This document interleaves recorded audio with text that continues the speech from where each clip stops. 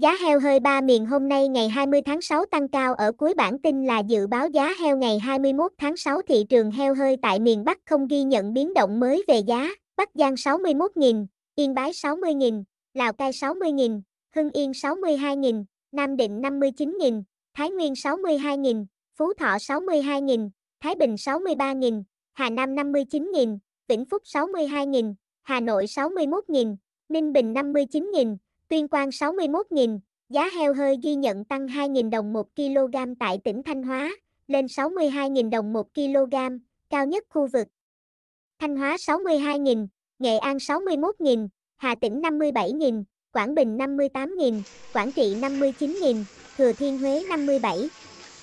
000, Quảng Nam 57.000, Quảng Ngãi 57.000, Bình Định 59.000, Khánh Hòa 57.000, Lâm Đồng 60.000, Đắk Lắk 58.000, Ninh Thuận 58.000, Bình Thuận 59.000. Ở khu vực phía Nam, giá heo hơi điều chỉnh tăng 1.000 đồng 1 kg.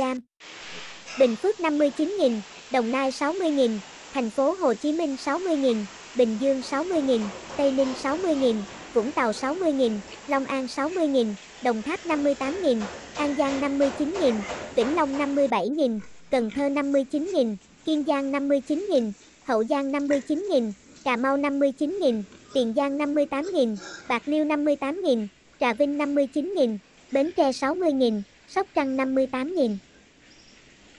Dự báo giá heo hơi ngày 21 tháng 6 tiếp tục tăng ở các tỉnh thành giá heo hơi hôm nay tại miền Bắc dao động trong khoảng 59.000, 63.000 đồng 1 kg. Cụ thể, mức giá heo hơi cao nhất khu vực là 63.000 đồng 1 kg, được ghi nhận tại tỉnh Thái Bình.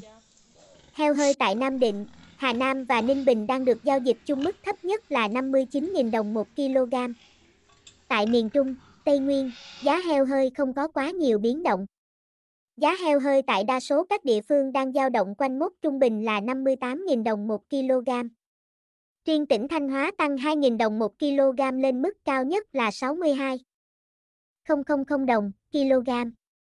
Thị trường heo hơi miền Nam hôm nay tăng rải rác ở một vài địa phương. Theo đó, sau khi nhích nhẹ 1.000 đồng 1 kg, heo hơi tại Trà Vinh và Bến Tre lần lượt được thu mua với giá tương ứng là 59.000 đồng 1 kg và 60.000 đồng 1 kg. Các địa phương còn lại không ghi nhận thay đổi mới.